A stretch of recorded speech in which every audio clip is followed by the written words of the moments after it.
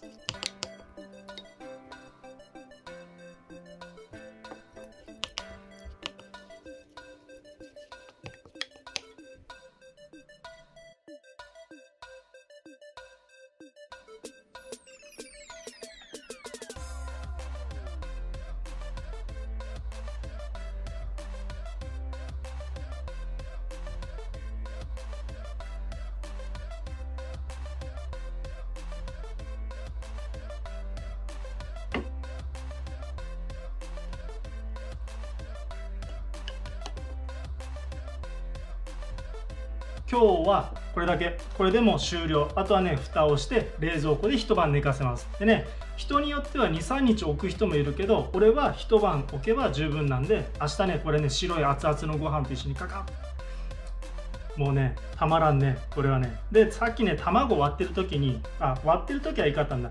卵をねこっちにね取る時に、えー、と2つ割ってしまいました。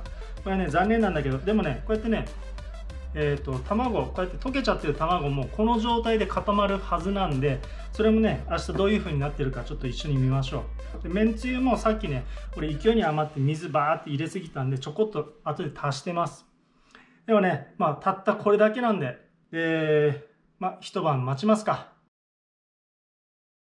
はいこれが一晩寝かした後の状態です。でねどうなってるかというと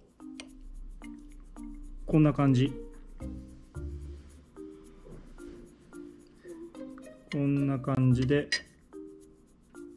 で、味噌は、味噌は、味噌はね、ちょっと、さっき実はひっくり返したんだけど、上の方がそんなにあの、まだ閉まってなかったですね。なんで、どうだろう。あ、でもね、もうこうやって。で、食べるときね、この味噌取る人もいるけど、俺はそのまま食べる。これ。でこっちも。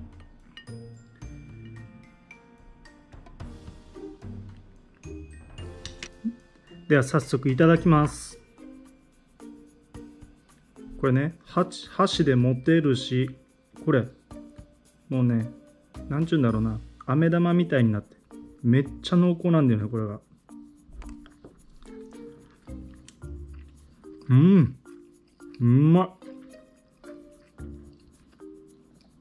味噌は味噌はねやっぱさっきひっくり返したんだけど上になってた方がまだ固まってない。ちょっとね早すぎた。24時間経ってない。今ね翌日の朝なんでまあもうちょっとしっかり寝かした方がいいかったかな。でもねこれでも十分美味しいんで。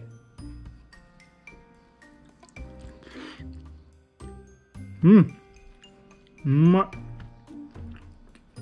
めっちゃ濃厚。うん。いやーうまい。これねえっ、ー、とまだまだこっちにあるんで残りはご飯にたっぷりつけながら食べていきます。でねこの超簡単な卵の生卵の黄身漬けよかったな思ったらグッドボタンとチャンネル登録よろしくお願いします。